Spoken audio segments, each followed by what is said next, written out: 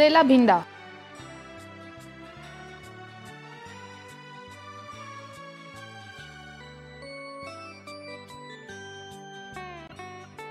Hello, Sanjeev Kapoor ખજાનામાં આપનું સ્વાગત છે.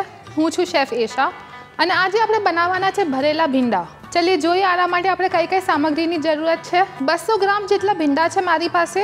આનું મેં હેડ અને તેલ કાપી કાઢ્યું છે અને વચ્ચેથી સ્લિટ કરીને રાખ્યા છે. ચાર મોટા ચમચા કસેલું નાળિયેર, બે મોટા ચમચા ચણાનો લોટ, બે મોટા ચમચા સમારેલું કોથમરી, એક નાનો ચમચો તેલ અને શેલો ફ્રાય માટે તેલ, અડધી નાની ચમચ હળદર, મીઠું સ્વાદ પ્રમાણે બે નાના ચમચા લાલ મરચું પાવડર બે નાના ચમચા ધનિયાનો પાવડર બે નાના ચમચા જીરાનો પાવડર બે નાના ચમચા જેટલું સાકર. સૌથી પહેલાં આપણે આનું સ્ટફિંગ બનાવશું. સ્ટફિંગ બનાવવા માટે નાળિયેર લેશું એક બોલમાં. આની સાથે આપણે નાખશું ચણાનો લોટ.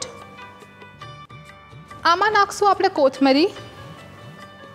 હવે નાખશું હળદર, મીઠું, જીરાનો પાવડર ધાણાનો પાવડર લાલ મરચું અને સાકર.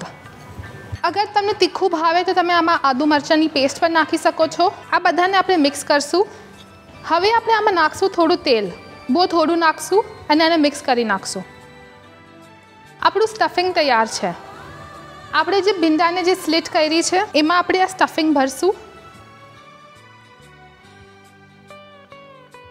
આવી રીતે અને આપણે એક પ્લેટ પર એને સજાવી દઈશું ભીંડા બધા સ્ટફ થઈ ગયા છે. શેલો ફ્રાય કરવા માટે એક નોનસ્ટિક પેનમાં આપણે તેલને ગરમ કરી લઈશું તેલ ગરમ થઈ ગયું છે.